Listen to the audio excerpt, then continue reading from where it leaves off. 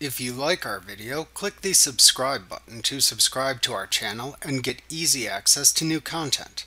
To see our full suite of ad-free video courses and training materials, visit us at teachucomp.com.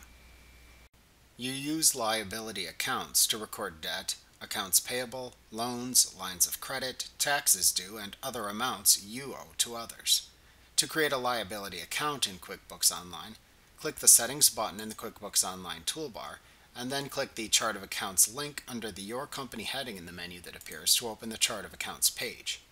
Then click the New button in the upper right corner of the page to open an account window.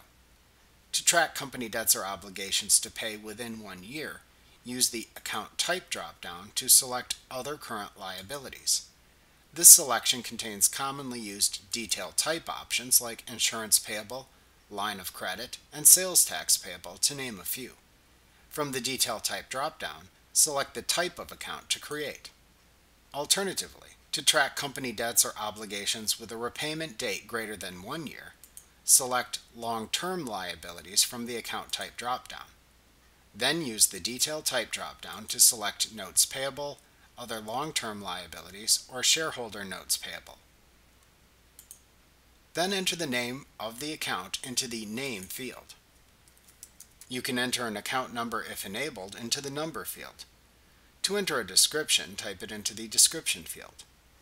To enter the beginning balance for existing outstanding loans, use the When do you want to start tracking your finances from this account in QuickBooks dropdown to select the date for which to enter the account's balance.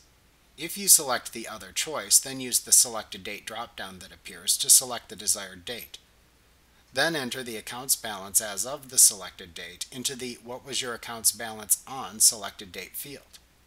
If recording a new loan, don't record an opening balance, as you must enter the transactions that show from where the funds come or how the debt or obligation amount is incurred for accurate accounting. When finished creating the account, Click either the Save and Close or Save and New choice from the drop-down button in the lower right corner of the account window to save the account. Remember to click the subscribe button to see more of our videos. Get ad-free courses at teachucomp.com.